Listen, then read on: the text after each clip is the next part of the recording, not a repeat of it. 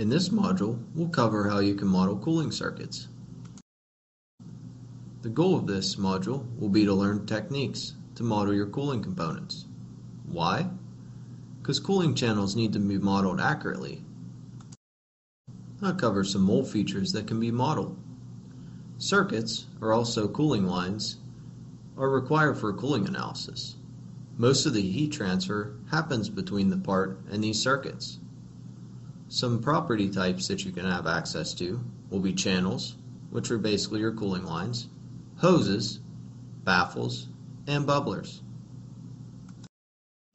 So now to cover the length of your cooling channels. Increasing the length of a cooling line increases the surface area available for heat transfer. Therefore, if we look at this image, solution B is better than solution A. However, solution B is quite a bit longer. So, this can cause problems such as increased pressure drop or an excessive temperature rise. To avoid problems in long circuits, they should be broken into shorter circuits, as shown in solution C.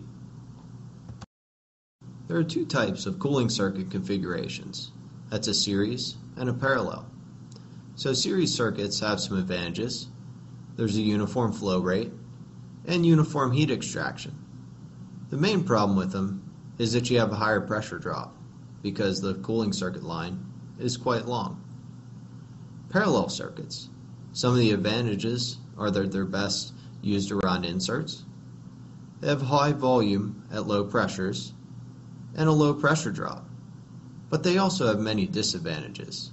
You have a non-uniform flow rate in the branches, non-uniform pressure drops, low, lower branch efficiency, as well as they're prone to what we call fouling.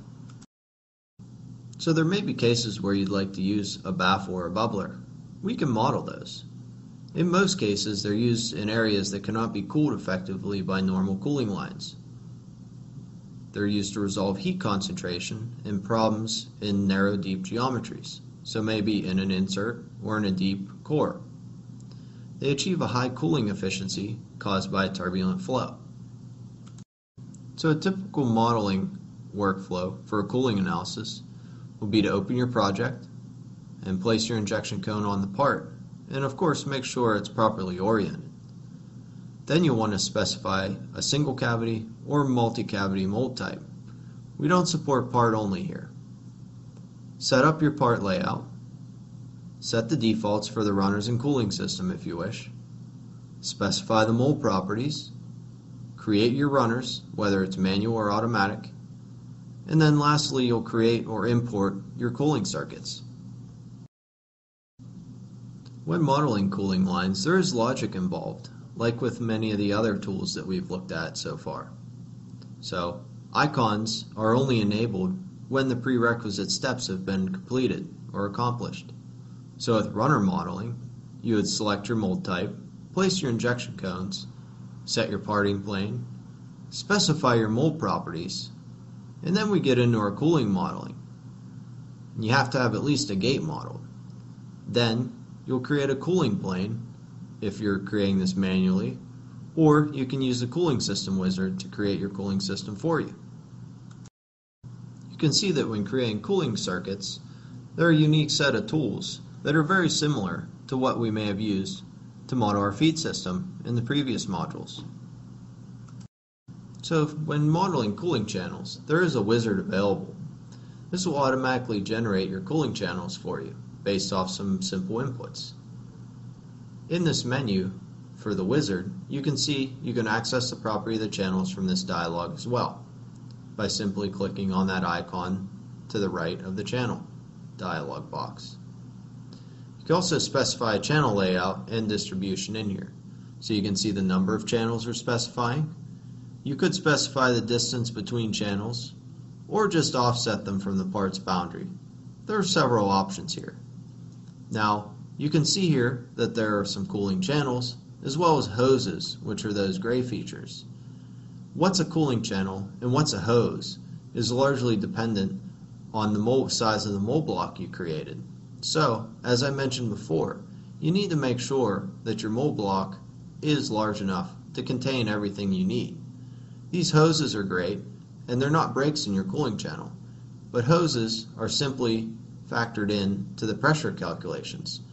So they do not factor or influence the heat transfer at all out of this mold. So when you're modeling your cooling system, you may create what we call a cooling plane, which is really just a modeling plane that allows you to sketch your cooling circuits on. There is a dialog box available to create, edit, as well as rename these planes for your cooling channel modeling. Just keep in mind that you can only create these parallel to the XY planes. So, if for some reason you have cooling channels that are running along other planes, then you may need to get a little creative using some of our tools.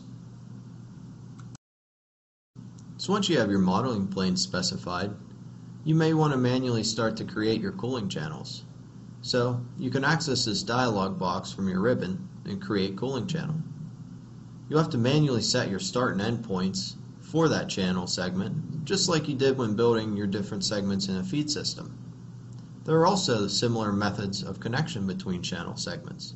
So you have options to snap to the channel and you have an option to automatically connect to the next channel. So basically to daisy chain these together. There's also some modeling grid settings and you have access to snap tools when you're modeling. So in this case, you can see these little boxes popping up when you hover over the end of a channel. That'll let you know if you're connecting to the channel, to the grid, or somewhere else. So some of the snap tool indicators that we mentioned previously will be shown in a little more detail here on this slide. So some start point indicators we have here is when you pick that first point, if you have a vertical line, that means your first point you're selecting on the modeling grid. If you see the second image when you hover over a feature, that means you're actually going to connect it to the end of an existing channel. And the third one, final one, is the center intersection point. If you see that when you're hovering and you click on it, then you're going to start your channel at the center of an existing channel. And that'll be your starting point in that case. Now when you select your endpoint, or the second selection when creating your channel, you could have several more indicators here. So if you see a vertical line, that means that your line is parallel to the y-axis. If it's horizontal, that means it's parallel to the x-axis. Now remember, you're modeling on the xy plane, so there's no z here. The end intersection point is much like we saw in the previous screen. That means you're terminating your channel at the end of another channel. If you see the center intersection point, that means you're terminating your channel at the center of another cooling channel. If you see a rotation angle, that means that you're placing your second point at a 45 degrees in relation to your XY axis. Now if you'd like to create a bubble or a baffle, that's pretty simple as well. You create these manually, they're not accessible within the wizard. So first, you want to access the properties from this dialog box. Then, you can snap to any location along your cooling channel. And then you'll specify your start and end point. And that's it. So once you have your cooling circuit model, you'll want to set a coolant inlet. You can access this in the ribbon with the rest of the cooling tools. And what you'll do is you'll need to set an inlet point. So you click on the end of your channel somewhere so it has a starting point. You'll pick a coolant type. Is it water, ethylene glycol, or some oil mixture. Then you'll pick a flow rate and the temperature for your coolant. So let's say you model your cooling system and now you want to move one of the channels for some reason. You can do this. There's a move channel tool and what you would do is just highlight click that tool and then you grab the intersection at one of your channels and you move it. So you can either drag it like that or you can actually specify coordinates if you wish. The one thing to note is the connection will be maintained when moving this. So if that channel is connected to another channel, or a bubbler, a baffle, or a hose, then they will that connection will be maintained. You're not going to break your circuit by moving it. It's also good to note that moving bubblers and baffles is also optional. So much like when we covered modeling feed system, you can also import cooling circuits as IGES, UDM, or .sty file formats. This can be very useful if you have a complex cooling circuit layout. You can model it within your CAD system as IGES curves, and then simply bring it into our software to be a cooling circuit. One possible problem with importing IGES curves as your cooling circuit is that you'll want to make sure these curves are all connected. You don't want any gaps in between curves. So before you bring it in from your CAD system, maybe zoom in, take a look, and make sure that they're connected. Because if they're not, when you bring them into our software as cooling lines, those circuits are going to be broken at those points. Long cooling circuit lines can cause problems such as assuming pressure drop and temperature rise were not an issue, which layout would be more efficient in removing heat? The following image is an example of what type of cooling circuit layout. Cooling channels can be created by using which of the following methods in Moldflow Advisor. Connections will not be maintained when moving the end of a channel connected to another channel, bubbler, baffle, or hose. True or false? Now that you've had a chance to view this presentation, please try this exercise to further enhance your skills. For additional information on how to access this exercise, please refer to the introduction video. Thank you.